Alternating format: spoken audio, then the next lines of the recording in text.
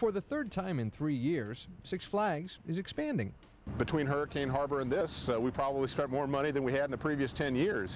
This is the latest addition to Six Flags. I have to go see the boss. We're calling it the Boss because we wanted a name that would indicate immediately that it was superior to all the other coasters. Indeed, when complete, it will surpass the Screaming Eagle, once the world's fastest roller coaster when it opened in 1976.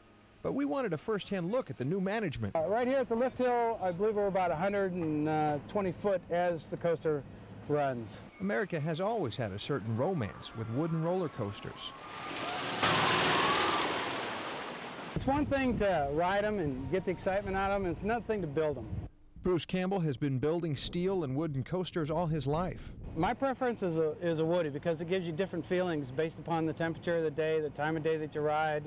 Um, you can ride in the morning and ride the same coaster at night, and it'll be two different rides. And there's nothing better than an old-fashioned reminder of your childhood. Patrick Clark, 11 News at 9.